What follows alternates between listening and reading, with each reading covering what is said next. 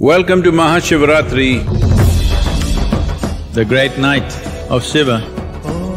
On this sacred night, if you maintain wakefulness and some sense of awareness, it shall bring tremendous well-being to your life.